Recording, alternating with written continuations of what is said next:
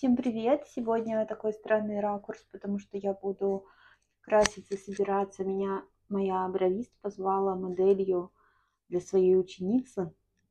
И я согласилась, а потом она мне сказала, что нужно э, нанести легкий макияж, надеть светлую одежду, которой у меня нет. И, в общем, если бы я это знала заранее, я бы не соглашалась. Лучше бы я заплатила ей денег и пошла бы платно. Но я уже согласилась, и она меня ждет, поэтому поэтому собираюсь.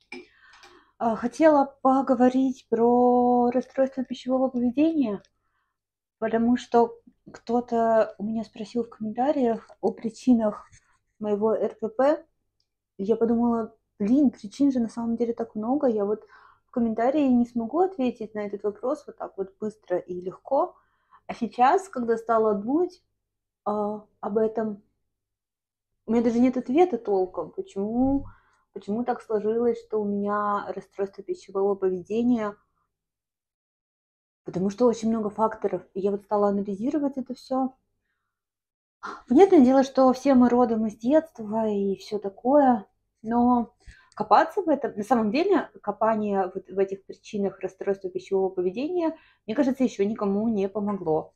Потому что, ну да, ты такой, вот родители там не знаю, у, кого что, говорили, что я толстый, или там меня дразнили в школе, или еще что-нибудь. Вот из-за этого я там стала переедать.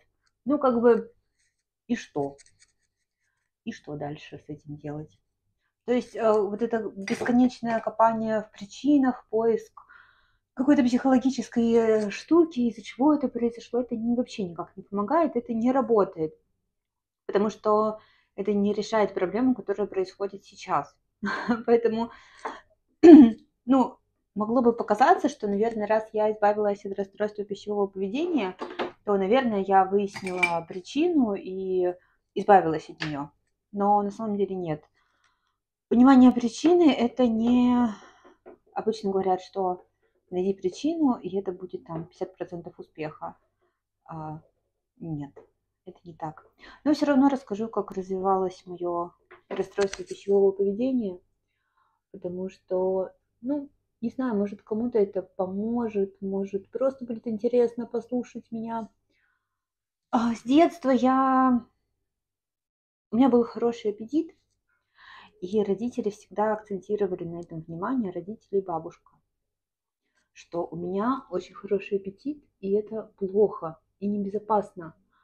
Типа, вот ты там ешь может ребенок съесть много, еще когда там прикорм первый был, что я много ела там какой-то еды типа картошки с курицей тушеной, ну такое мягкое, которое маленьким дают. Вот типа ты там съедала целую порцию и потом еще просила. Вот это вот то, что я просила еще добавки, все время очень пугало моих э, родственников. И я не буду говорить сейчас о том, что это неправильно и что они зря меня ограничивали, потому что я не знаю, что бы было, если бы они меня не ограничивали. Да? Мы же тут не можем заглянуть в альтернативное будущее, что было бы, если бы меня не ограничивали. Может быть, я бы действительно была еще больше и еще раньше набрала вес. Еще бы, может быть, в детстве у меня были более серьезные проблемы с весом. Поэтому я не буду осуждать своих родителей, они делали, что могли, и хорошо, что они это замечали, что у меня такой слишком активный аппетит. Но, может быть, надо было как-то по-другому с этим взаимодействовать и не говорить мне все время, тебе это нельзя, не осуждать все время за еду, потому что я все время, когда маленькая была, когда просила добавки, меня всегда за это очень осуждали, говорили, куда тебе? Куда тебе? Тебе вообще, куда? Посмотри на себя. Куда? Куда? Э, э, тебе не надо больше. Тебе больше не стоит. При этом я не была полной в детстве. Ну, то есть я не была полным ребенком. Я была чуть-чуть полнее, ну, там класса до третьего. Я была чуть полнее одноклассников, ну, и ровесников, чуть-чуть. Ну, прямо, ну, вообще не критично. А, но продавщицы в отделах детской одежды. Э, это конец 90-х, начало нулевых. И одежду ты, когда живешь в селе, покупаешь на рынке. Ну, в нашем случае, в нашем населенном пункте был не совсем такой прям рынок-рынок, а скорее а, такой павильончики, то есть крытые, крытые такой, такие магазинчики. И никто тогда особо не заботился о твоем психологическом состоянии, никто про это не знал, про расстройство пищевого поведения, всю эту лабуду.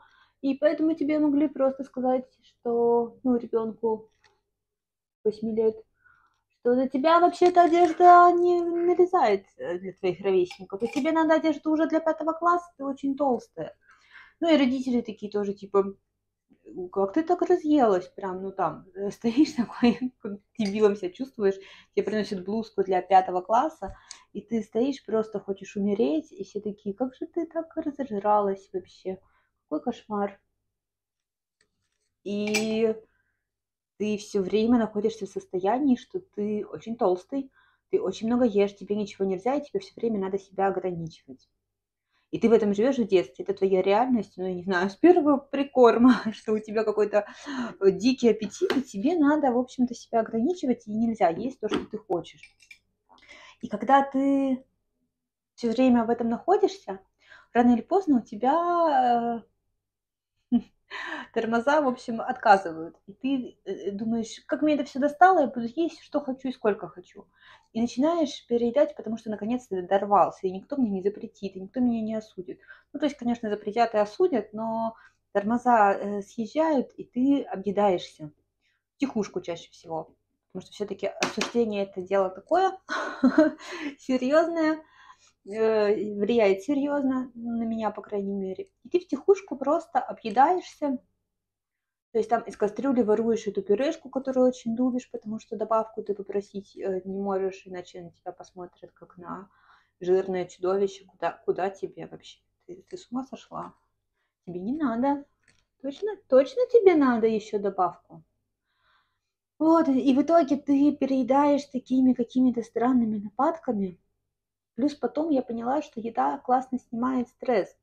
Когда в школе, там уже в подростковом возрасте начались всякие а, ну, разные ситуации, которые выбивали меня из колеи, или в университете, когда я очень сильно уставала, приезжала поздно домой, а, ты объедаешься, и тебе спокойно, и тебе хорошо, потому что ты уже не нервничаешь, твой организм занят тем, что переваривает всю эту еду, и ты подсаживаешься на это очень сильно. Плюс вот это чувство ограничения постоянного, которое рано или поздно ты, конечно, него съезжаешь, и вот это вот облегчение, что типа тебе же вообще это было ничего нельзя, а сейчас, ой, гори оно все синим пламенем. Вот сейчас, последний раз, и завтра я уже буду хорошей девочкой, не буду переедать. Вот сейчас последний раз пюрешку эту схему. И так оно, наверное, и закрепилось. Я не это не вина моих родителей, потому что они действительно за меня переживали, заботились как умели, действительно какой-то информации по расстройствам пищевого поведения, про психологию тогда не было. И они заботились как могли, и они старались, чтобы я была здоровой, чтобы со мной все было хорошо. Плюс, конечно, сама еда в доме была нездоровая. Но у кого была здоровая еда в доме, начале нулевых. Ну, кто там салатик готовил, я не знаю, какие-нибудь супер люди, один-один процент из э, миллиона, наверное. То есть ели обычную еду, что, что есть, то и ели. В основном картошку, всякие эти колбаски. Ну, это уже в нулевые, в 90-е, это, конечно, не колбасок особо не шиковали. Ну, нулевые там. Понятно, что сам стол был не сильно полезный и, и сильно вкусный. И вот эти постоянные запреты, постоянные осуждения, так или иначе, мне кажется, это тоже подкрепило мое расстройство пищевого поведения, потому что мое расстройство пищевого поведения – это диетическое мышление. А мое компульсивное переедание – это был результат диетического мышления. Мне ничего нельзя, я должна себя ограничивать, я толстая, я завтра должна сесть на голодовку. Вот. А так как завтра уже начинается голодовка, потому что по-другому я не, ну, не справляюсь, я все время набираю вес, без голодовки, ну, я просто буду еще больше, чем сейчас. То есть мне все время нужно себя ограничивать, все время нужно голодать, И когда ты себя ограничиваешь постоянно, ты рано или поздно съезжаешь и скатываешься в компульсивное переедание. Плюс запрет на чувства, конечно, тоже. Плакать нельзя, потому что если ты плачешь, то ты слабый, тебя еще больше засадят, тебя добьют. То есть я не из той семьи, где слезами ты можешь что-то получить. Я из той семьи, где если ты заплакал, ты проиграл, и тебя еще доклюют за это. То есть надо быть сильной и показывать свою слабость, то, что ты сдался и плачешь, нельзя. Тебя за это не пожалеют, по головке не погладят и утешать не будут. Поэтому плакать это вообще ужасно. А плакать на людях, ну это вообще позорище. Поэтому запрет на чувства тоже э, во многом сыграл свою роль. Начинаешь все эти чувства, с ними же надо что-то делать, они же тебя переполняют, и ты их прям физически утрамбовываешь, ты объедаешься, и оно прямо вот уседается внутри тебя, вот эта вся еда вместе с твоими чувствами. Ты успокаиваешься, да, тебе больно в животе, тебе плохо, но ты лежишь, просто перевариваешь эту еду, и больше тебя, ты спокоен, тебя больше ничто не колышет. А завтра ты сядешь на диету, конечно же, и будешь хорошей девочкой, и все наладится. Вот так вот. И набрались мои 123 потихоньку. Потом уже, когда какая-то серьезная, уже депрессивные такие состояния начались, там уже еда просто становится какой-то единственной э, радостью в твоей жизни, какой-то единственной вообще отдушины, потому что жизнь тебя вообще совсем не радует, она тебе не нравится, ты с ней не справляешься, ты не знаешь, зачем ты вообще э, утром просыпаешься и что тебе делать.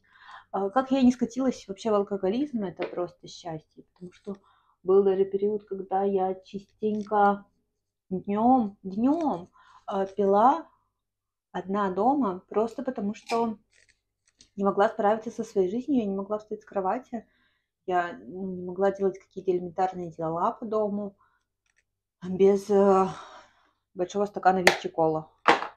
Но это был, слава богу, недолгий период, быстро прошел. У меня это не переросло в какую-то зависимость, и просто мне повезло.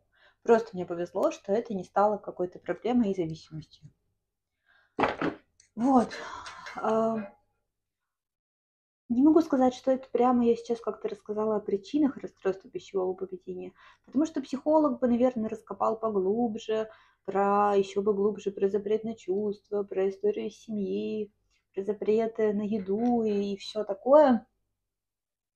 Но что, что случилось, то случилось. Надо было в какой-то момент работать уже с результатом, с точкой, в которой я была, а не копаться вот в этих всех причинах и так далее. Мне кажется, у всех, у каждого человека с расстройством пищевого поведения э, разная история и разные причины, и здесь очень сложно как-то какую-то единый создать шаблон и сказать, вот если такие обстоятельства, то будет расстройство пищевого поведения. Мне кажется, как э, все счастливые семьи счастливы одинаково, а все несчастные несчастливы каждый по-своему. Так и с расстройством пищевого поведения, мне кажется. Сейчас я на том уровне, и это просто потрясающе, когда я в, полной, в полном мире с едой. Я, кстати, удивительная штука, но я не, не ем под какие-то видео, даже музыку выключаю, когда ем. Типа я, я ем, и я вот просто ем я не, могу смотреть в это время что-то или слушать, потому что иначе я просто бездумно все это заглатываю, не понимаю вообще, сколько я съела, что я съела, удовольствия не получила, сытости еще не поняла. И я действительно отказалась от вот этой вот еды перед Ютубом, даже музыку реально выключаю. Не потому что это правильно, а не потому что это через силу, а потому что мне так хочется, мне так, а, мне так больше нравится и это искренне. И вот самое главное, что со мной произошло, э, со мной и моим пищевым поведением, что я стала честно понимать, чего я хочу, и часто это совпадает с вот этими всякими правилами про белки, жиры, углеводы, не ешь перед телеком, пей воду и вот эта всякая фигня, которую, если ты будешь делать искусственно через силу, чтобы похудеть, ты будешь это ненавидеть, и ты сорвешься через две недели. Ну, кто-то месяц, может быть, а кто особенно отчаянный. Это не работает через э, усилия, через э, какую-то в общем, это не то, где нужна, нужна дисциплина, это то, где нужно понимать, зачем ты это делаешь, и твоя мотивация должна быть из э, твоего комфорта и заботы о себе, а не для того, чтобы э, влезть в какие-то джинсы, потому что влезть в какие-то джинсы это всегда ненависть к себе, мне кажется. Редко кто-то хочет э, прямо вот маниакально снижать вес, потому что хочет быть здоровым и хорошо себя чувствовать, и поэтому он там э, не ест ничего и голодает. Где связь? Ты голодаешь, чувствуешь себя плохо, для, для здоровья, ну, как бы мозг не идиот. А когда ты делаешь это для того, чтобы реально чувствовать себя хорошо, и действительно делаешь это из любви, то ты не насилуешь себя. Это не дисциплина, это не мучение, это не какие-то, э, не знаю, новые новые привычки, которые вот через силу внедряешь, такой там отмечаешь в табличке. Нет, это приходит само реально из любви, из заботы к себе, из-за того, что тебе так лучше. Ты чувствуешь себя лучше, тебе это нравится, ты кайфуешь. И это работает, по-моему, только так. Я не верю в то, что можно через силу заставить себя там осознанно питаться. И чтобы похудеть, вот это вот все не знаю, мне кажется, только из любви к себе, для того, чтобы быть счастливее, можно наладить свое пищевое поведение. По крайней мере, ну тут тоже, знаете, я сейчас так категорично говорю, хотя пять минут назад сказала, что у каждого свой опыт. Возможно, возможно, есть люди, которые реально на дисциплине могут что угодно. Это не я это не я, моя дисциплина, она идет именно сначала любовь и кайф от процесса, а потом уже дисциплина именно начать э, что-то делать. Ну, то есть, например, я обожаю растяжку, я очень от нее кайфую. Я, у меня, особенно сейчас сидячая работа, я в конце дня просто мечтаю о том, чтобы сделать растяжку или погулять э, ногами шаги походить. И когда я заканчиваю рабочий день, мне уже тяжело, и, конечно, мне сложно растереть этот коврик и начать растяжку. Уже хочется лечь и спать. И вот тут, да, важна дисциплина вот в этот маленький момент, когда ты немножко себя преодолеваешь, чтобы сделать то, что приносит тебе удовольствие, что ты делаешь на самом деле из любви. Но если тебе и процесс э, не приносит удовольствия, и любви там нет, а есть только я должен, потому что я ненавижу свое тело, потому что оно толстое, мне нужно влезть в джинсы поменьше, ну, это какой-то ад. Я не знаю, зачем это делать. Ну, зачем себя так мучить, зачем страдать потому что я так делала много лет, это не привело ни к чему хорошему. это, ну, сам процесс тебе не приносит э, удовольствия, и в итоге результата ты не получаешь, потому что когда ты прикладываешь столько усилий, ты очень ставишь на результат. Ты же терпишь сейчас. Тебе же надо сейчас потерпеть, чтобы получить э, результат. И ты думаешь только о результате, а процесс ты просто вот сжимаешься и терпишь. И результат никогда не не стоит того, потому что, ну, ты не получишь ту, ту сказку, вот это вот, знаете, отложенная жизнь, вот я похудею буду супер счастлива, и все у меня пойдет как по маслу. Нет. И в итоге ты чувствуешь, что оно того не стоит, что те усилия и мучения, которые ты испытываешь, не окупаются вообще ни разу. Поэтому нужно, чтобы процесс тебе нравился. Мне кажется, это самое главное, чтобы ты в процессе кайфовал от происходящего, от самого пути. Иначе это какая-то правда отложенная жизнь. А, видео получилось очень странным. Мне кажется, что мои мысли путались ужасно. А, если вы смогли какую-то логическую цепочку в моем потоке сознания уловить, то это здорово. Потому что я, мне сложно говорить о расстройстве пищевого поведения, потому что, мне кажется, там столько всяких нюансов, и в моей ситуации тоже. То есть, с одной стороны, это были запреты, осуждения, с другой стороны, я все-таки почему-то скатилась именно в компульсивное переедание, в набор веса, а не в анорексию, например. То есть и, и слава богу, потому что мне кажется, что